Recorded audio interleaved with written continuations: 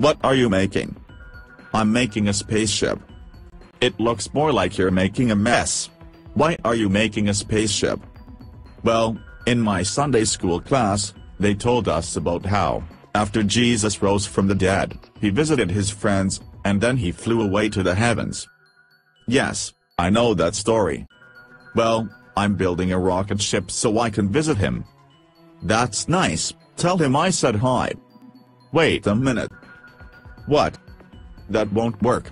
You can't get to heaven in a rocket ship. Don't you know that Jesus is returning for his friends?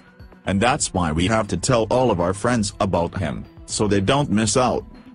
But how can I tell them? I'm only a monster.